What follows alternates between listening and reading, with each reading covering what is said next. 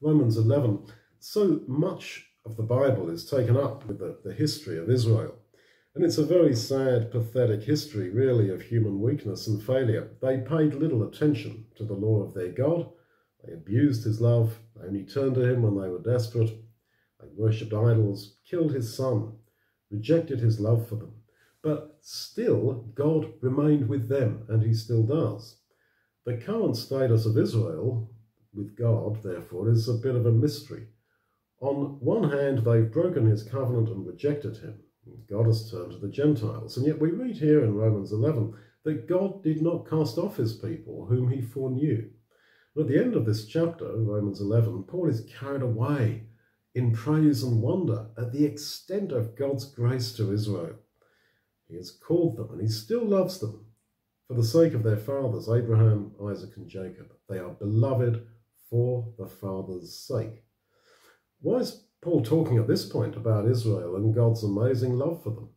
It's in the context of the whole argument in Romans trying to persuade us of the certainty of our salvation by grace.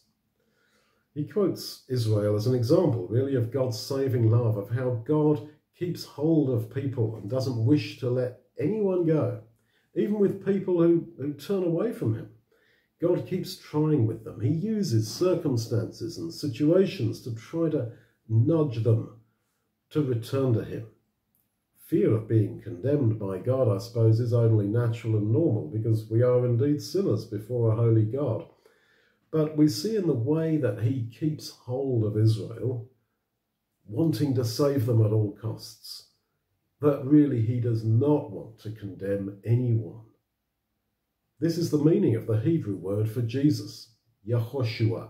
Yahweh saves. He is a saviour God. And his work through his son, the Lord Jesus, is proof enough of that. And the other thing you see from all this is that God works through human sin. He doesn't just turn away in disgust from the situation. He works through it. Because it was because Israel rejected the gospel that the gospel was taken to the Gentiles. And in the end, God is not beaten. Far more people came to be saved than would have been the case if Israel had not rejected the gospel. In this sense, God is never defeated by human sin and failure. Somehow he tries to push through his saving purpose with us all. And it is only if we push him away forcefully that he cannot save us.